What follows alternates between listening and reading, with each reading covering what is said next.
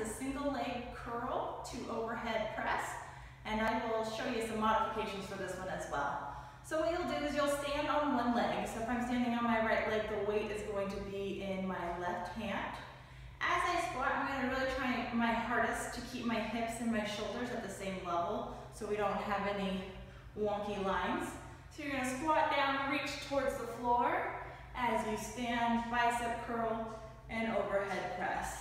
To modify this one, you don't have to use a weight. You can just work on reaching towards the floor and pressing overhead.